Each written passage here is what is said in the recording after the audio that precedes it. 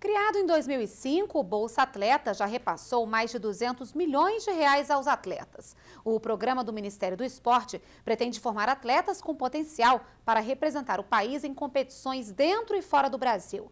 E nos Jogos Pan-Americanos, 21 atletas bolsistas conquistaram medalhas. O resultado já começa a aparecer em forma de ouro e prata. O primeiro bolsista a subir no pódio em Guadalajara foi Márcio Venceslau, que ganhou a medalha de bronze na categoria até 58 quilos na disputa do Tequendor. Pego muito dessa verba e utilizo para fazer intercâmbios internacionais, quando, quando não são é, pagos por uma confederação. E o intercâmbio no taekwondo é uma coisa fundamental, porque não dá para você ficar treinando só no seu país. Você precisa ir para fora, treinar, que é, no nosso caso a gente vai muito para a Coreia. Uma passagem aqui para a Coreia é muito cara.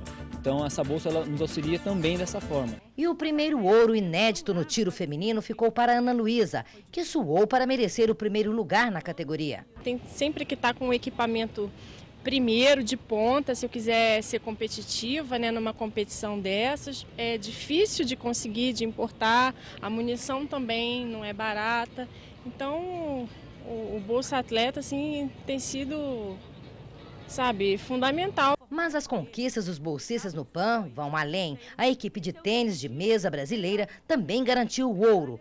Boas classificações também nos esportes aquáticos. Com o remo, Apenas sete segundos e uma americana pelo caminho separaram Fabiana do primeiro lugar no pódio. Ela comemora a medalha de prata. Desde que eu quando comecei a receber, eu senti uma diferença muito grande, até na, na minha dedicação ao esporte e tudo, então é muito importante. Para que esses atletas pudessem estar no Pan-Americano, o Ministério do Esporte investiu no preparo deles, este ano com cerca de 4 milhões e meio de reais. Dos 522 atletas que compõem a delegação brasileira nos Jogos Pan-Americanos de Guadalajara, em 41 modalidades, 198 recebe o benefício financeiro do programa Bolsa Atleta do Ministério do Esporte.